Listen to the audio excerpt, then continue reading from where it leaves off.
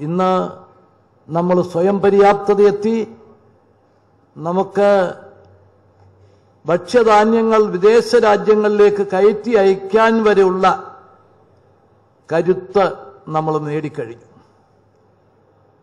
സ്വയം പര്യാപ്തത എത്തിയാൽ മാത്രം പോരാ.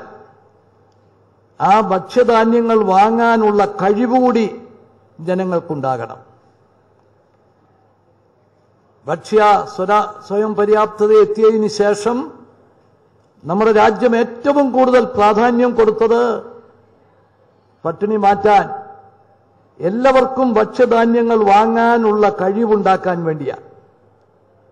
തൊഴിലുറപ്പ് പദ്ധതി കൂടി വന്നതോടുകൂടി നമുക്ക് ആ കാര്യത്തിൽ വളരെയധികം അഭിമാനിക്കാൻ സാധിക്കും. കേരളത്തിൽ പച്ചക്കറി ഉൽപാദനം നമ്മൾ സ്വയം പര്യാപ്തത എത്തിയിട്ടില്ല. നമുക്ക് ആ സ്വയം പര്യാപ്തത വേണം. നമ്മുടെ ധാരാളം ഭൂമി ഇന്നും തരിശു കിടക്കുക. തരിശു ഭൂമിയൊക്കെ കൃഷിയോഗ്യമാക്കി മാറ്റണം. നമ്മൾ ഇത് രണ്ടും ഈ രണ്ട് ലക്ഷ്യങ്ങളും ഒരു വെല്ലുവിളിയായി സ്വീകരിച്ചുകൊണ്ട് മുമ്പോട്ട് പോകേണ്ട അവസരമാണ്.